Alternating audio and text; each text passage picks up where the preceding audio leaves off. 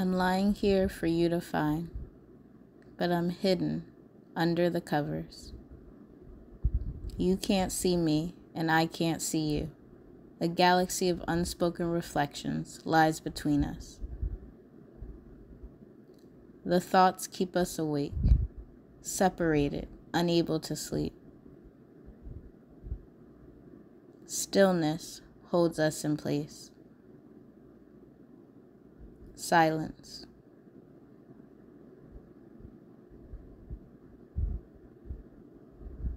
It's surreptitious.